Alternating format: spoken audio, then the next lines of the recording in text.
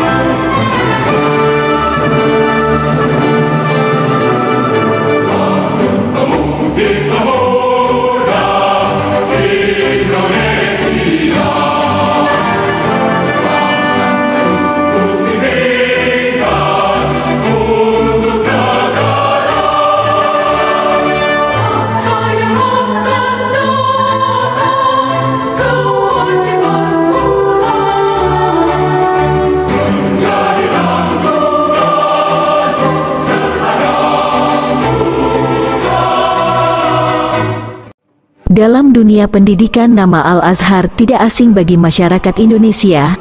Yayasan yang mengandung sejarah besar didirikan sejak tahun 1952. Bernama Yayasan Pesantren Islam Al-Azhar, pencetus gagasan pendiriannya adalah Dr. Syamsuddin, Menteri Sosial Republik Indonesia di masa itu.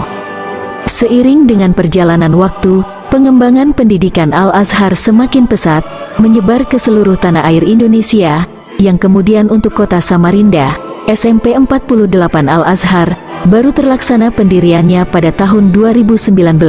Di sisi lain di kota yang sama terdapat pula SMP Fastabikul Hairat, telah berdiri sejak tahun 2017, di bawah naungan Yayasan Pendidikan Fastabikul Hairat, tercantum nama Haji Muhammad Yos Sutomo sebagai pendiri sekaligus yang mendirikan gedung sarana pendidikan.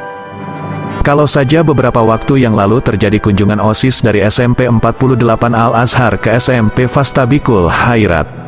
Sebagai bentuk silaturahmi serta merta dalam rangka studi banding, sehingga kedua SMP yang bernafaskan keagamaan, bukanlah untuk bersaing siapa yang paling hebat, melainkan untuk membangun keharmonian, bahkan diharapkan terjalin kolaborasi dalam hal memajukan dunia pendidikan berdasarkan keagamaan yang berkaitan erat dengan pemantapan mentalitas sumber daya manusia sebagai bekal dalam menyiapkan para generasi penerus bangsa yang memiliki moralitas berkualitas. Bukan saja dari pihak SMP 48 Al-Azhar Samarinda Kalimantan Timur khususnya, bahkan seluruh masyarakat Indonesia pada umumnya, ingin lebih mengetahui sejauh mana visi misi SMP Fastabikul Hairat.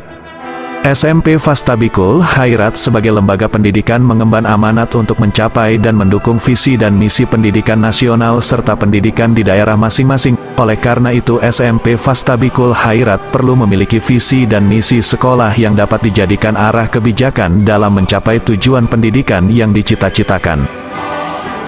Visi SMP Fastabikul Hairat menjadi sekolah unggulan guna menghasilkan generasi yang islami, cerdas, mandiri, inovatif dan berwawasan kebangsaan. Pencapaian visi dapat diukur dengan indikator sebagai berikut. Terwujudnya nilai-nilai akhlak mulia dalam pergaulan antar peserta didik, guru, orang tua dan masyarakat yang di lingkungan sekolah, keluarga dan masyarakat. Terwujudnya peningkatan pengembangan standar isi kurikulum yang sesuai tuntutan dan tantangan masa depan. Terwujudnya pengembangan standar proses pembelajaran yang diselenggarakan secara aktif, kreatif, efektif dan menyenangkan, pakem. Terwujudnya pengembangan standar penilaian pendidikan yang sesuai dengan tuntutan perkembangan kurikulum. Terwujudnya peningkatan kualitas lulusan dalam bidang akademik yang meningkat setiap tahun. Terwujudnya pencapaian prestasi non-akademik sekolah ekstrakurikuler yang meningkat setiap tahun. Terwujudnya pencapaian standar kompetensi pendidik dan tenaga kependidikan yang sesuai dengan tuntutan dan perkembangan pendidikan nasional.